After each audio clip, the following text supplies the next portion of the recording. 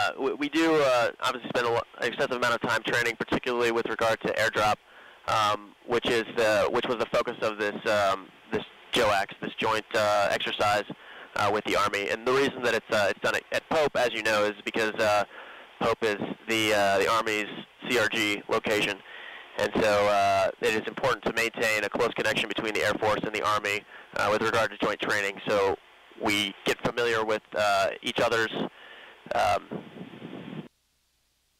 operations and, uh, and get, get familiar with, uh, with habit patterns uh, of, of each other in order to, uh, to effectively execute the mission as, uh, as tasked. Absolutely, this was very much a uh, large-scale exercise.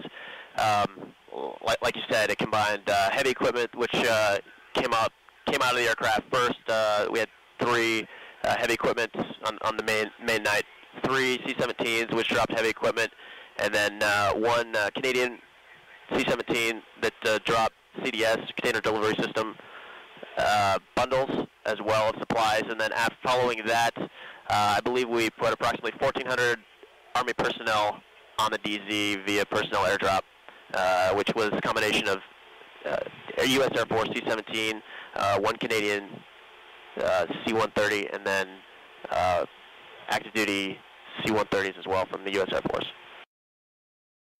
But yeah, it absolutely is uh, highly incumbent upon the aircraft commander to to ensure the overall safety of of his aircraft, and then the uh, the lead um, the lead airdrop aircraft commander is is responsible for maintaining a safe uh, position of of his uh, entire formation and uh, maintaining the safety safety of the flight. All that stuff.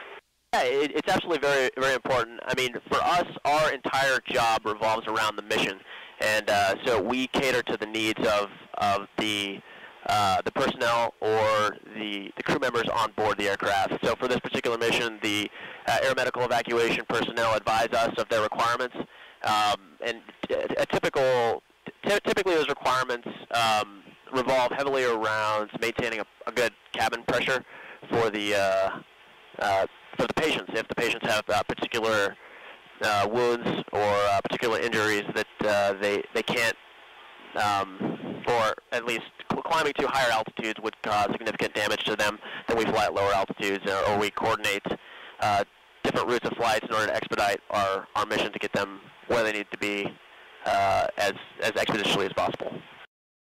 Uh, we, we, we, work heavily with, with TACC, and they, they typically plan our routes and uh, plan any coordination such as uh, working with tankers if, if need be. But uh, absolutely, the objective is to get the patients uh, to the, the best care possible in the most expeditious fashion. If that involves us uh, accepting two uh, air refueling rendezvous in order to, to do that, we will.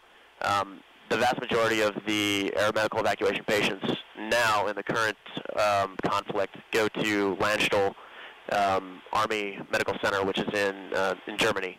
Uh, so that, that is definitely the primary care uh, facility for them. As far as the uh, the pilots are concerned, uh, are it, it's pretty transparent to us as, as far as the differentiation between air medical evacuation missions and other missions. Um, we can pretty much tailor um, our procedures um, ar around a, a wide variety of, of missions. For our loadmasters, it's, it's a little bit different because uh, now they have to, to, to work with uh, different equipment as far as setting up uh, the, the aircraft and then also coordinating with the aeromedical evacuation team. Um, we, we coordinate with them as well, but uh, as far as uh, the front end procedures in the cockpit, it's, it's mostly transparent to us. You're welcome.